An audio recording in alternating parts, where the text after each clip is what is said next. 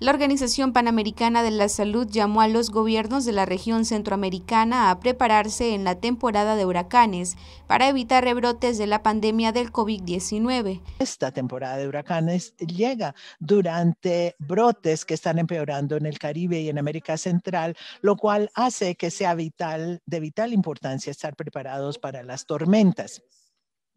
En los últimos cinco años, las Américas se han visto afectadas por más de 550 incidentes meteorológicos extremos que han tenido impacto en más de 190 millones de personas y el potencial de devastación es aún más alto en el contexto de una pandemia. La mitigación de los riesgos empieza teniendo sistemas de alerta eficaces de manera que la gente sepa cuándo es seguro quedarse en casa y cuándo es mejor evacuar. Los países también deben considerar eh, preparar los hospitales eh, y em, tener más albergues para reducir el potencial de transmisión, incluyendo entre miembros de una familia, puesto que la distancia social eh, y la ventilación apropiada se hacen más difíciles durante una tormenta. Este es el momento de fortalecer la coordinación entre la salud pública, la protección civil y los equipos de emergencia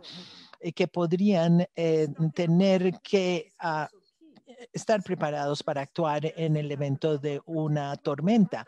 Carissa Etienne, directora de la OPS, dijo también que los países del sur deben estar preparados para hacerle frente a la influenza que ha llegado en medio de la pandemia y podría complicar la respuesta. Año llega la, temporada de influenza en un momento en que las infecciones de COVID están exponencialmente mayores eh, y, sin embargo las medidas de salud pública son menos estrictas. No es sorpresa que eh, ya hemos empezado a ver un regreso del virus incisional respiratorio y otras infecciones entre los niños. Ahora más que nunca los países deben reforzar sus sistemas de vigilancia para monitorear la diseminación de, virus respiratorios.